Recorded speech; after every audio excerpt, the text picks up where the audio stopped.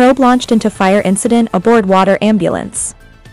Authorities have initiated a thorough investigation into the circumstances surrounding a fire that engulfed a water ambulance operating on the Orealla-Siparuta to Corriverton route, resulting in its complete destruction.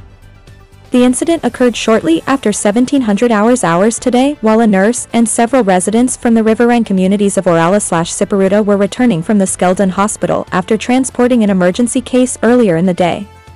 According to accounts provided to the news desk, one of the ambulance crew members went to inspect the vessel's deck, only to be met with large flames upon opening the door.